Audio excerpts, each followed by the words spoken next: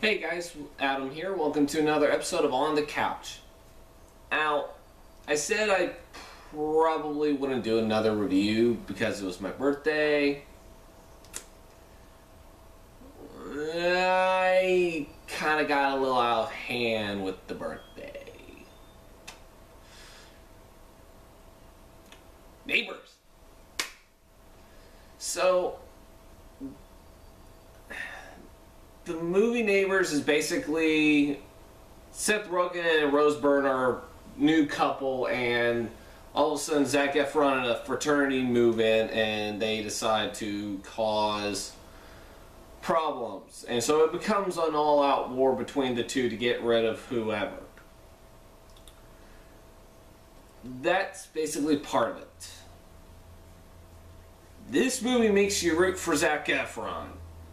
Who's the villain? Not really. It was alright. It's not very funny. It really isn't. There are very few funny moments in this movie.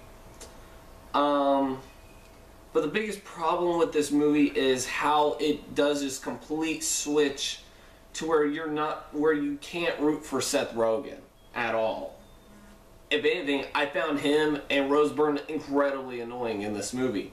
They were talking like each other. Literally talking like each other. It was really, really annoying. Um, and, um, and yet, I just couldn't, I couldn't like them, and they're supposed to be the heroes of this movie. Zac Efron was more engaging and more likable because, well, for one thing, he's actually a better actor. Um, so the big switch to me is basically Seth Rogen and Rose Byrne after. All right, well, let me start off with this. Basically, uh, Seth Rogen and Rose Byrne decide to be friends with the fraternity, and they go on their first night and they decide to party with them. Um, Zac Efron says, like, look, if you got, if we're too loud, call me, don't call the cops.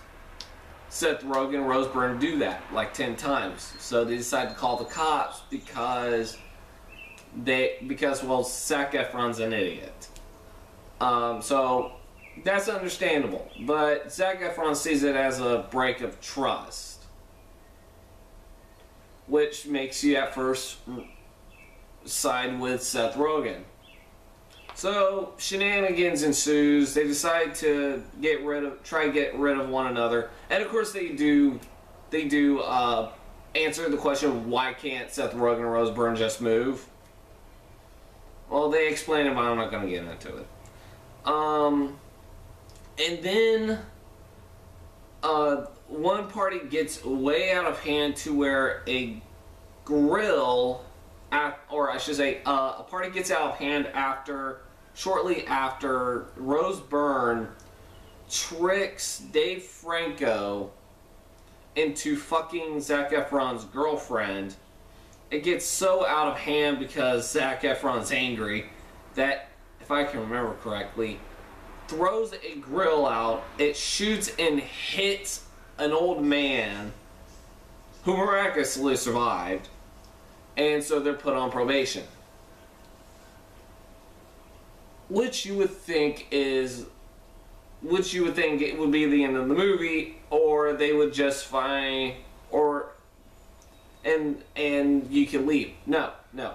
What happens next is Zac Efron goes over to Seth Rogen's house and says, You may put me on probation, but there's going to be many more guys like me. They're going to party really, really hard. So you're going to stay up all night. So that prompts them to try and get rid of them forever. My biggest problem with this is they're on probation first off. They can't they can't party like they used to. They can have barbecues, they can have friends over, they can't party.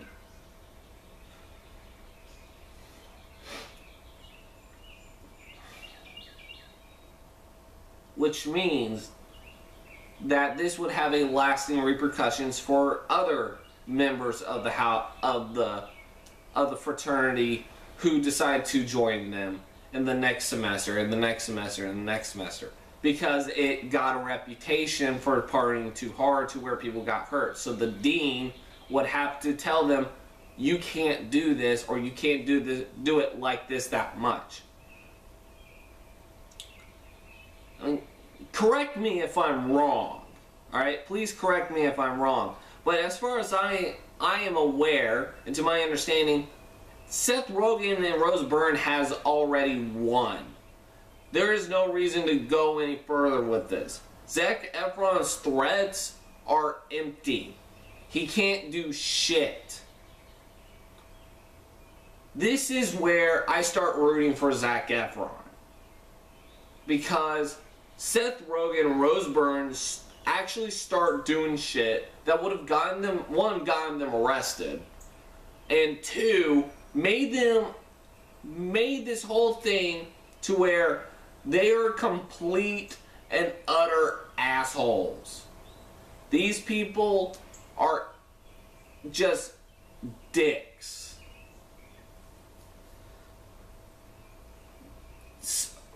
They decide to flood, uh, to take an axe to the to one of the pipelines and flood the basement.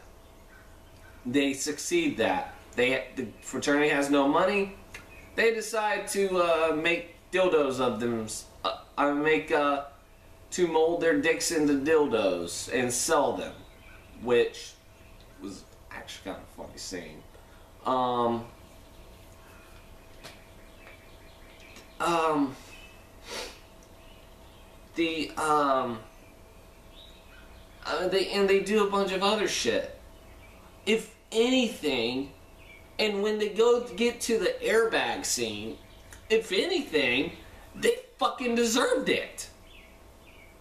They fucking deserved it because Zac Efron found out from uh, a pledge after threatening to haze him, which he does. And Zac Efron's actually a really nice guy in this movie. I mean, he's an asshole, and I mean, he's a frat boy.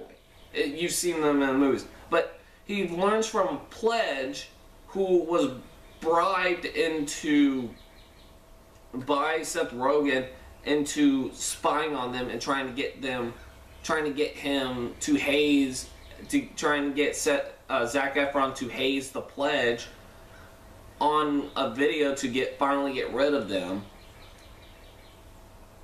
They this he finds out through Zac Efron I mean, he find, Zac Efron finds out through the pledge that Seth Rogen was the one who flooded the basement.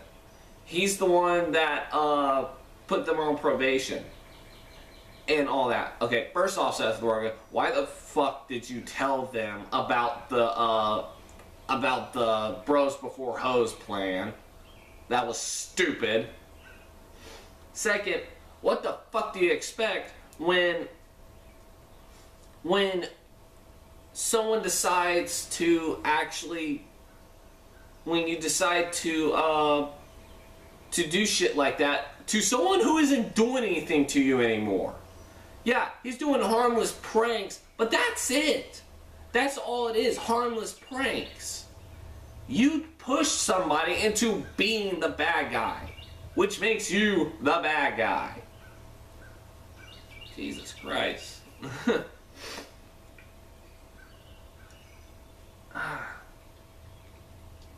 and and when they get to the airbag scene, it's all it's just like Seth Rogen sitting on something, and I can't believe they actually got into his office building. That was funny. Uh, he gets injured. Now I will say this: had they actually put an airbag in the baby's crib, and yes, the baby's in this, I would that would have automatically deemed Zac Efron a horrible person. But they didn't do that because it was very evident that he's he's a that he's not that type of monster. Well, Zac, uh, Zac Efron finally gets kicked out because he threw a party because because Seth Rogen tricked them into thinking they were off probation. So they decided to throw a party until they found out. That is how. That is how he, the fraternity finally gets shut down. Is because Seth Rogen tricked them into this. Again, they weren't gonna do anything. They weren't gonna. They couldn't do anything. Leave them. You could have just let them alone. Okay? You could have let them alone. Um. Another thing is, this movie is like trying to insinuate. While Zach, uh, Seth Rogen and uh, Rose Byrne are like in their 30s, they have middle age. Um, not middle age. Sorry, they have uh, decent jobs, middle class. They're doing okay. Problem is, they're really playing off that Seth Rogen and and Rose Byrne are like out of touch with this generation because they're in their 30s. I find that very hard to believe when they are so well. Yes, they're they're old school. They're they like graduate college maybe in the mid 2000s, mid to late 2000s, or um, mid to late early 2000s, and yet they're but they're more dorky than out of touch with the gener with our with this generation. If anything, I mean, if anything, they're they're very they're very much like Zach, Ef- Zac Efron. Hell, they like they do the same shit.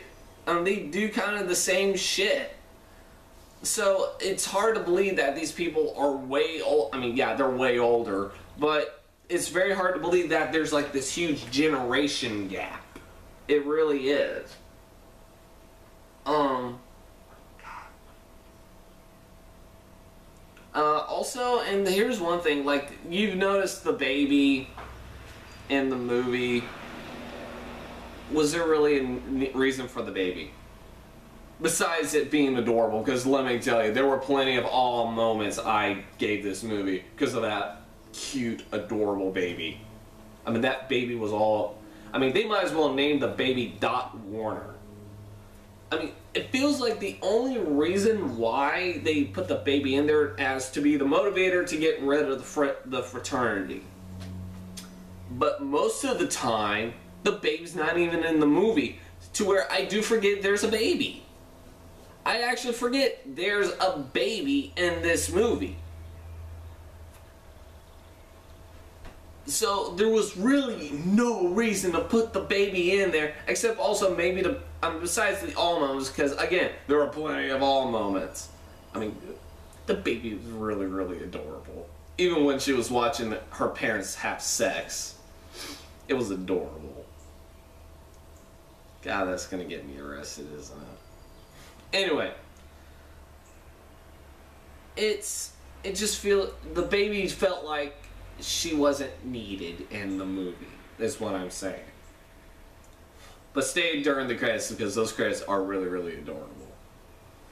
Um, I'm trying to think now because, uh, this. Oh yeah, and another thing when he when Zac Efron finally gets kick uh, finally gets kicked out. Turns out he's like he he was so focused on getting the ultimate party for his fraternity that he didn't do any he didn't really study at all. Like they even have a scene of that. I mean, they don't really they kind of touch on it to where you kind of feel sorry for him, but they don't they don't kind of focus too much on it, except for here and there. Um, he's Seth Rogen finds him at an at working at Abercrom- Abercrombie and Fitch as a door model. He's just standing there at the door, wearing pants. That's it. He's not he's not even wearing a shirt. And that's another thing. This movie really likes to showcase how how physically fantastic Zac, Zac Efron is. Okay? I mean, he's fucking. I mean, no homo, but you can grind meat on the, on that body of his. I'm not even kidding. Th- this guy, Zac Efron, is fucking gorgeous. they, I mean, they really, they really played this up. I'm not even kidding. To where he's, like I said, working as a door model for Abercrombie and Fitch. All he's doing is standing there wearing nothing but pants with his shirt showing off his chest. And he's still, and he's going through night classes to get his degree, which is fine. Thing is, this is probably the only time I'm ever gonna say don't go to school. Be a model. Like this, this guy could have been a model. He would have he would have gone and he would have gone the last laugh uh, from um, against Seth Rogen. He would have he probably would have been really really famous as a model. All right, because he one he's in fantastic shape. Two, he knows how to hold himself and knows how to pose. Seth Rogen would have lost, knowing that. I mean, granted, yes, Seth Rogen just wanted him gone. I get that, but it seemed, but Zac Efron would have made something of himself as a model. He would have been really, really good at it. I'm not. I'm not even kidding. I just felt like that would have been funny if they showed him actually making it big as a model. But they didn't do that. So that so yeah. They really could have played on that. Um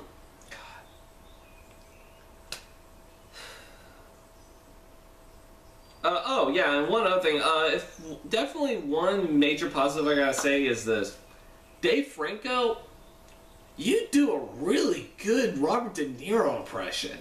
I'm not even kidding.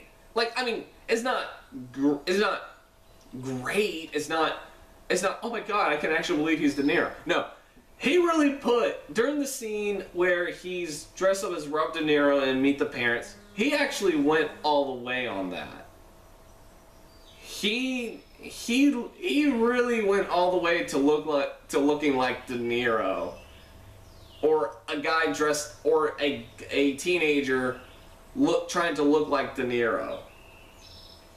He did a really good job, and the impression was not bad either. It was pretty funny. Uh, I'm of course again I'm a sucker for Robert De Niro impressions. I'm a sucker for Robert De Niro jokes. Hell, I'm a sucker for Robert De Niro. Okay. God. Get off my case.